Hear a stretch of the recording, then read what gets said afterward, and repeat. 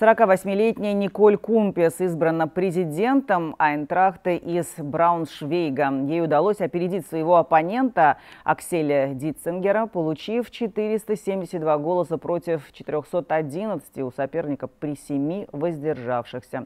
Кумпес – первая женщина-президент в 126-летней истории клуба и первая женщина на такой должности в немецком профессиональном футболе за три десятилетия. С 1988 по 1990 1992 годы.